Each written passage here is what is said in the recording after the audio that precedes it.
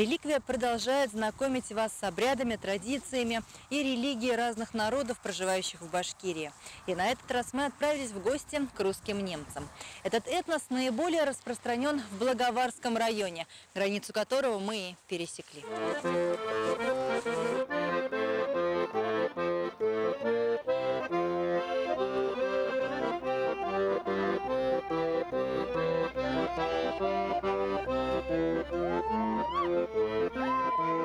Música Энергичная задорная полька, кокетливо развиваются ленточки на шляпах, взлетают кружева на бархатных юбках. Рядом стайка юных зрителей смотрит во все глаза. Ниточка детского любопытства, словно пуповина, которой скреплено новое поколение со своим родом. Их прадеды принесли с собой на башкирскую землю обычаи своих предков. И хотя сейчас немецкий язык эти мальчишки и девчонки изучают как иностранный, в Благоварском районе еще довольно сильны традиции немецкого этноса.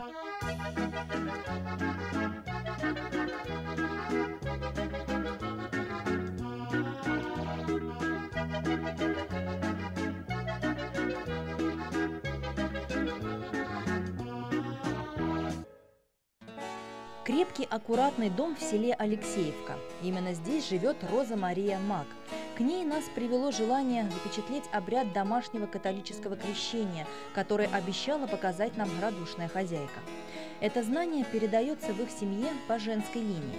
Мама и бабушка Розы Ивановны приобщали к церкви детей и взрослых в те времена, когда официально религия была запрещена. Еще будучи маленькой девочкой, она запомнила главные элементы таинства. Im Namen des Vaters und des Sohnes und Heiliger Geist. Amen. Erfiel dich das Leben der Gnade.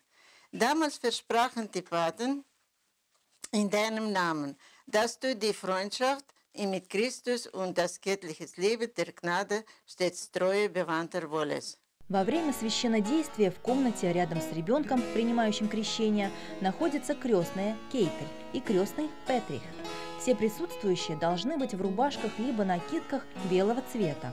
В отличие от православной традиции, новообращенного католика не окунают в святую воду, а лишь окропляют ею голову. So, so hast du jetzt gedacht, mit Weihwasser.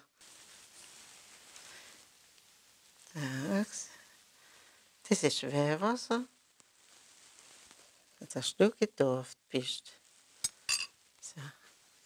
Daniel, ich darf dich, Daniel, Die zweite Nummer, Waldemar. Gefällt dir der Name? Ja. Ja, ну gut. Und du bist jetzt Вальдемар Даниил. У Розы Марии хранятся старинные книги издания начала 20 века и даже конца 19 -го. Мало кто из нового поколения сможет легко прочесть эти ветхие страницы.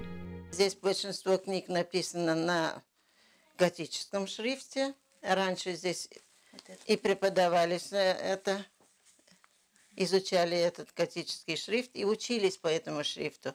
Мы уже в школе старый латин, латинского образца. Он сильно отличается? Отличается, буквы отличаются, но все равно читать можно. Эта книга очень старинная, он как книга-песенник. А что это получается здесь и молитва, и песня, а как это сочеталось? Молитву читает, потом песни поет, потом опять что-то читает, опять э, это поют. Песни какие-то восхваляющие Бога, такие? И восхваляющие Бога, есть песни, посвященные разным событиям. В этом доме очень бережно относятся к своей истории. Под самой крышей у Розы Ивановны настоящая сокровищница. Здесь хранятся предметы и мебель, которым более полувека. Например, вот это кресло изготовил еще отец Розы Мария, а вафельницу – в начале 20 века во время переселения привезла бабушка нашей хозяйки. Она чугунная и весит, ну, больше 10 килограммов точно. Эта вафельница в числе другого нехитрого имущества лежала в обозе, когда прадед Роза Марии Петр Моор в 1906 году вместе с другими русскими немцами в поисках лучшей доли уехал с Украины и поселился на башкирской земле.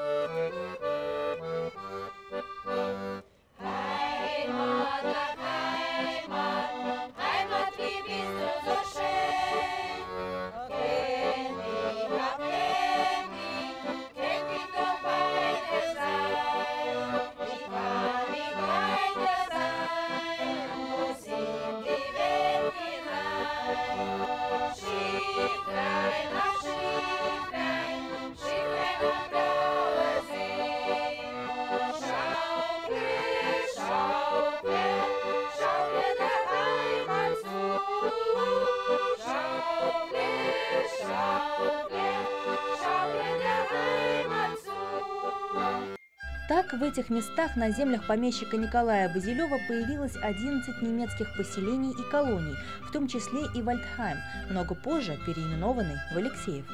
Не было ни жилья, ничего. Клочок земли каждому выделили. Строили землянки, в землянках жили. Потом уже стали здесь деревню строить, обустраивать деревню. С землянков переселились. А вообще мама моя, она в землянке родилась, еще она в 25-м году родилась. Немцы всегда славились своим трудолюбием и аккуратностью. Начав с нуля, люди смогли поднять хозяйство. Разводили скотину, птицу, привезли новую для этих мест культуру – кукурузу и фасоль. Разводили сады, сажали деревья. До сих пор шелестят те тополя. Их стволам уже более ста лет. Сейчас под их сенью укрылся храм Успения Девы Марии. Римско-католическую церковь здесь построили лет 15 назад. Конфессиональная замкнутость немецкого населения тоже помогла сохранить в иноэтническом окружении национальную самобытность.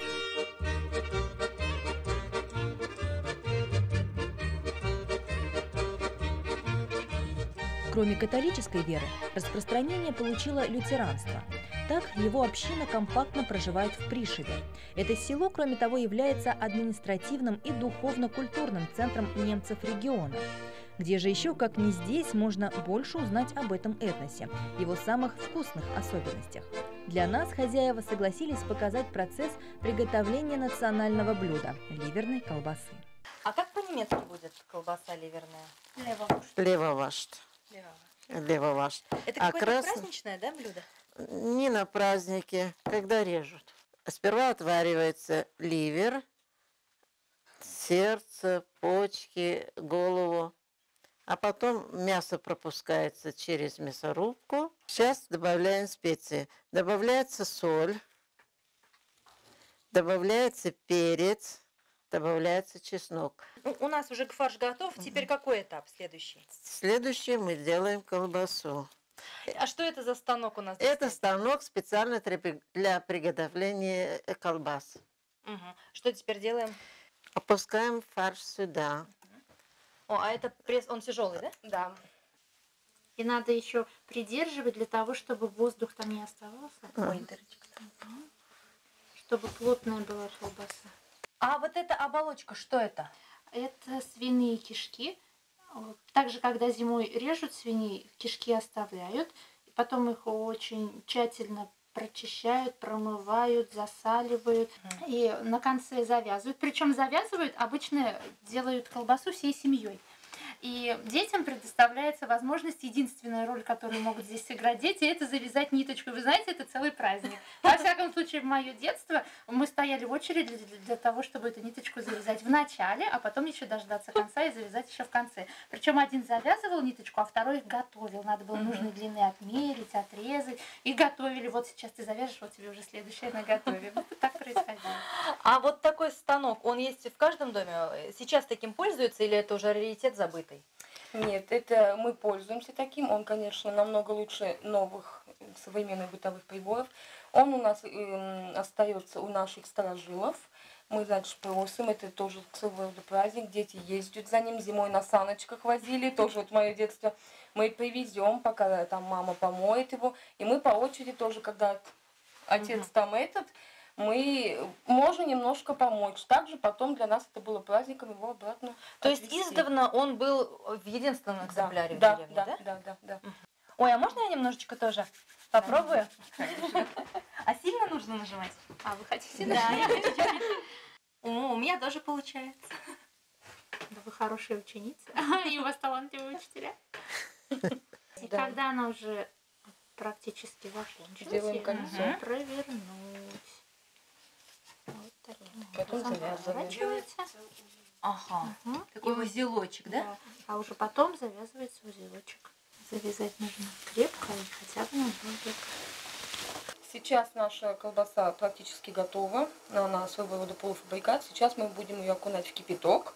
И после того, как она немножко у нас остынет, она готова к употреблению. Пойдемте.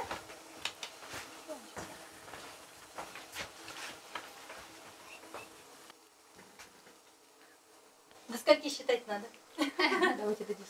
До 10. Один, два, три, четыре, пять, шесть, семь, восемь, девять, десять. Готово. И готовый продукт у нас. Сейчас. А ее в горячем виде употребляют? Нет, ее надо дать ей остыть, чтобы она застыла, и она готова к употреблению в любом виде.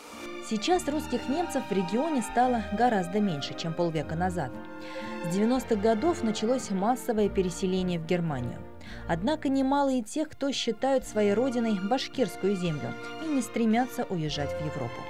При этом они бережно хранят традиции своих предков, язык и культуру, уникальную, богатую и красивую.